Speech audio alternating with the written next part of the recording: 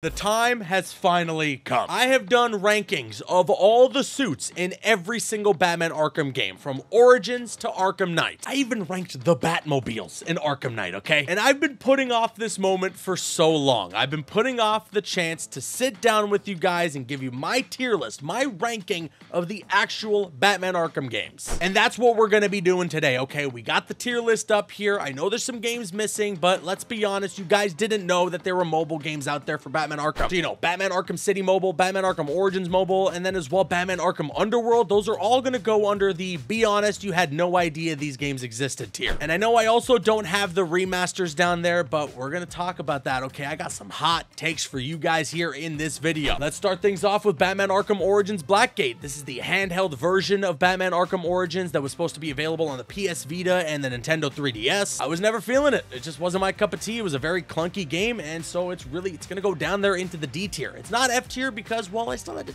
tiny bit of fun with it. And I don't know, I have a soft spot for Vita games or just PSP stuff in general. That was such a relic of the past. I hope one day we do see a PSP revival from PlayStation because I had so much fun with that. And I already know that some people are going to disagree with me on this one. And well, if you disagree, scroll down and hit the thumbs up button. And well, if we're on the topic of Batman Arkham Origins, let's talk about the actual game itself. Not the handheld version, but Batman Arkham Origins that released on the PS3, the 360, and PC. I feel like I have said so much about this game already. I feel like the entire Batman Arkham community, the entire video game community has said the same thing over and over and over again. Batman Arkham Origins is criminally underrated. It's got such a cool premise. You know, all these assassins are trying to chase down, hunt down the Batman. It takes place during Christmas. Yeah, it's got a bit of an empty open world. Yeah, the traversal getting from point A to point B takes quite a bit of time and forces you to kind of use the fast travel, but it's also got incredible boss fights, some really good writing. I'd even argue the best writing in the franchise. And although it comes off the heels of a really weird twist where Black Mask ends up being the Joker, we still get to see the origin of the relationship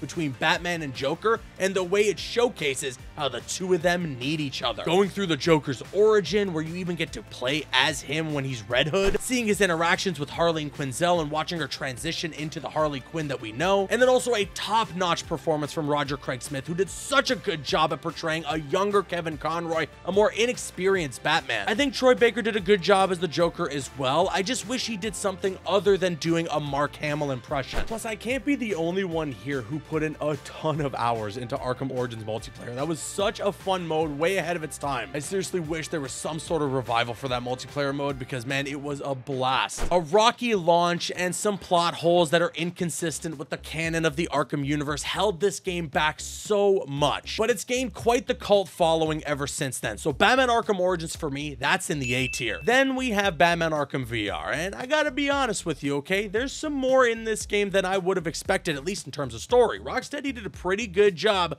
tying this together with Batman Arkham Knight. This is supposed to be for Batman the first time he experiences the effects of Joker's blood in his system. And that's pretty cool. It's honestly a bold move from Rocksteady to do something like that. They could have taken the lazy route with an Arkham VR, but they instead wanted to give us quite a story here. The unfortunate reality though is that Batman Arkham VR is kind of a glorified tech demo. It's very short. It clocks in at like two hours, I think, and then that's it, you're done. Which maybe isn't so bad for for a VR game, but at the end of the day, you're forking over a couple hundred bucks for the actual PlayStation VR, and then you have to buy the game separately. So all that for a two hour experience doesn't sound super worth it. But if one of your friends or family members has a VR system, I'd highly recommend going over to their house and trying this game out because it is very fun and you'll really enjoy what you get to experience there. For that reason, I'm going to put it in the B tier. And now we got the Rocksteady trilogy, okay? People consider this the greatest gaming trilogy of all time. So many people consider either of these games to be some of the greatest superhero games ever made. And those aren't really false statements. I know a lot of you guys here found this channel either from Batman Arkham Origins way back in the day, or of course, Batman Arkham Knight. This franchise in general, it means a lot to me. But we can't talk about the main games before we talk about the Batman Arkham collection, which got a Batman Arkham Asylum remaster and an Arkham City remaster. Now I'm gonna be real, okay? When you're free roaming in the open world in those games, especially in Arkham Asylum, even though that's a small open world, it's not really an open world, it's quite the visual upgrade, all right? The environments, the lightning, the rain, all that stuff is great. But man, those cutscenes and some of those character models, it really feels like they missed the mark. You can't really complain from the story standpoint or the gameplay because, well, that's all the same, but this wasn't the true remaster that I feel everyone was hoping for. And at the end of the day, there's a novelty in playing the original versions of these games. You're not jumping back and saying, oh man, I hate that they aren't graphical masterpieces. You want to play them for their story. You want to play them for the gameplay. So please, hate me all you want, okay? Disagree with me all you want, but the remasters, the Batman Arkham Collection, that's going in, please, dear God, no. But now let's talk about Batman Arkham Asylum. I'll never forget when I was like 12, 13 years old when this game first came out, I was begging my older brother to get it for me. I just had my wisdom teeth removed, so I'm sitting there muffling my voice, trying to explain to him the game that I want. And well, one day I walk into my room and there the game is waiting for me to play. And that was when I first experienced greatness. Arkham Asylum changed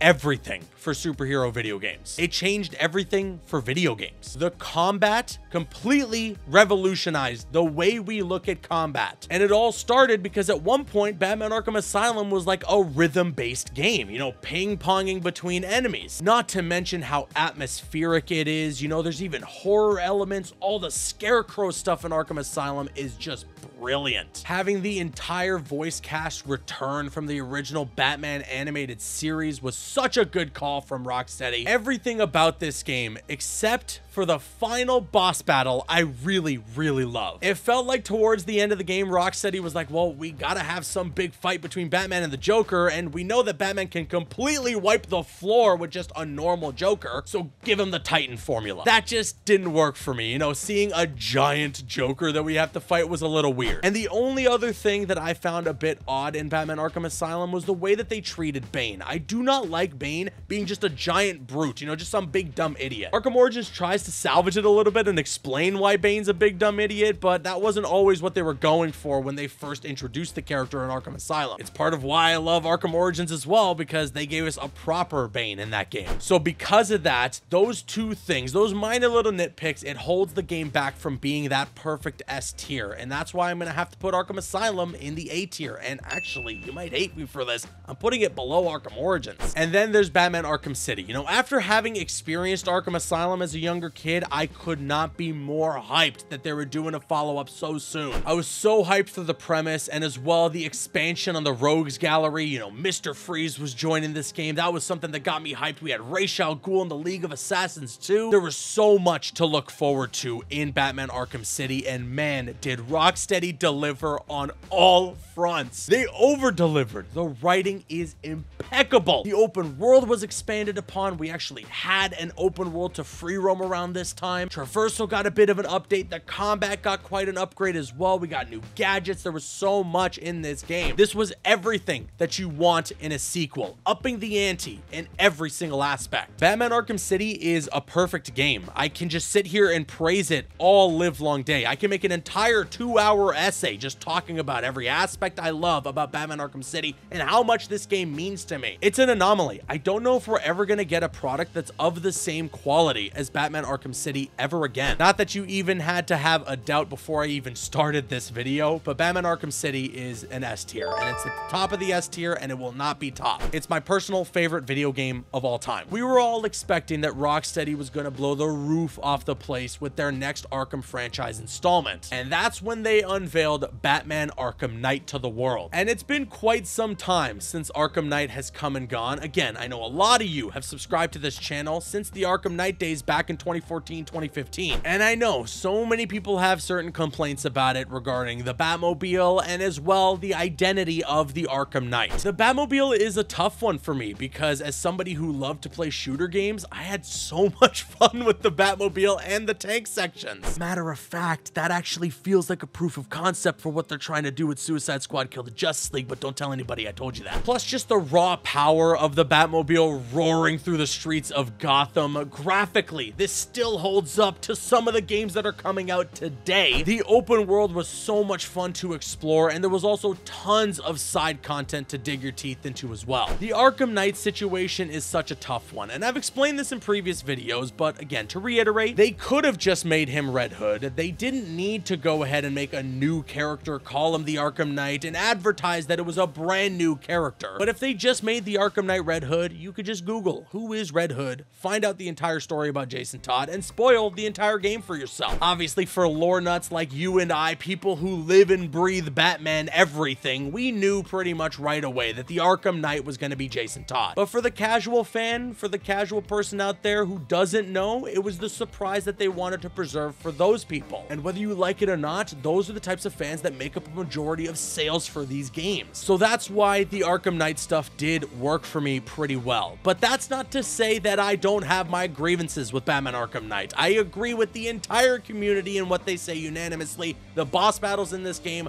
are very mediocre. A lot of them amount to just tank battles, especially the side mission against Deathstroke. What were they thinking? But you'd think at least if the Arkham Knight is Jason Todd, if that's the big buildup, the big climax of this game, that they would have something special in terms of a boss fight against him. But for it to be this overwhelming stealth mission where you gotta get under his perch a couple of times, have a cutscene initiate, and that's it, it was very disappointing. And this was one of the first games when I was younger that I made sure to 100% so that I can see the real ending. And I think as a send-off to the Arkham franchise, which we kind of now know isn't really a send-off to the Arkham franchise, Rocksteady did a great job. They closed a chapter, an incredible trilogy of Batman games that changed everything in the video games industry. There are quite a few missteps in Batman Arkham Knight. It's nowhere near the perfection that I think Arkham City is, but I also don't think it's as bad as a lot of the internet does. But that doesn't mean that they completely missed the mark. I think they landed on their two feet with Batman Arkham Knight. They ended their trilogy very satisfyingly, in my personal opinion. I love this game to pieces. I still jump back to it from time to time, and I'm still awe-inspired by the way that it looks better than games that are coming out in 2023. So Batman Arkham Knight for me is all the way at the tippy top of the A tier. And that'll round out my tier list for the Batman Arkham games. But hey, sound off with your thoughts in the comments section below. My list is not definitive. What would you rank the Batman Arkham games? I've been Caboose, and I'll see you guys later.